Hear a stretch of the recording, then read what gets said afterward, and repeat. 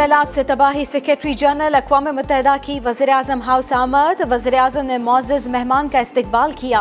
वजर खारजा बिलावल भुट्टो भी मौजूद। एंथोनियो गोथरस अहम मुलाकातें और सैलाब जदा इलाकों का दौरा करेंगे। वजर अला सिंध से कतर के सफ़ीर की मुलाकात। कतरी सफ़ीर का बारिशों में जानी नुकसान पर गहरे दुख का इजहार कहा। कतर मुश्किल घड़ी में पाकिस्तान बिलखसूस सिंध के साथ खड़ा है।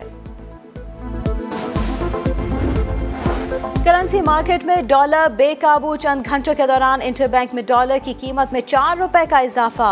डॉलर दो सौ उनतीस रुपए से तजावज कर गया। ओपन मार्केट में डॉलर की कीमत दो सौ सैंतीस रुपए तक जा पहुँची। इमरान खान कहते हैं मैं जेल जाके और ज़्यादा खतरनाक हो जाऊँगा। ये करने की बातें हैं। जब जेल जाएगा तो फिर समझ आएगा। वैसे जेल जाने का मौसम जो है वो गुजर रहा है। इमरान खान के जेल जाकर ज़्यादा खतरनाक होने के बयान पर विफाकी वजर दाखिला राना सनाउल्ला का रद्द अमल कहा, जब इमरान खान जेल जाएँगे तो तब उन्हें समझ आएगी। और इस्लामाबाद हाईकोर्ट ने कराची में कौमी असम्बली के हल्का इन्हें दो सौ छियालीस की नशस्त खाली करार देने का नोटिफिकेशन मअतल कर दिया। अदालत की दरख्वास्त गुजार पी टी आई के रुकन अब्दुल शकूर शाद को असम्बली कार्रवाई में शामिल होने की हिदायत।